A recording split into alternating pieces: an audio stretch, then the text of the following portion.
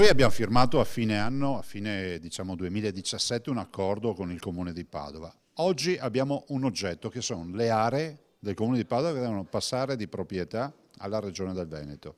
Stiamo già lavorando, ma se abbiamo la proprietà fisica delle aree possiamo investire anche di più. La Regione è pronta, il Comune faccia la sua parte e la faccia al più presto. Parla in modo chiaro il Presidente del Veneto Luca Zaia. In Consiglio Comunale, dopo mesi di attese e tentennamenti, il Sindaco Giordani ha ottenuto l'incarico di trattare con la Regione l'accordo per il nuovo ospedale. Ma adesso di tempo non ce n'è più.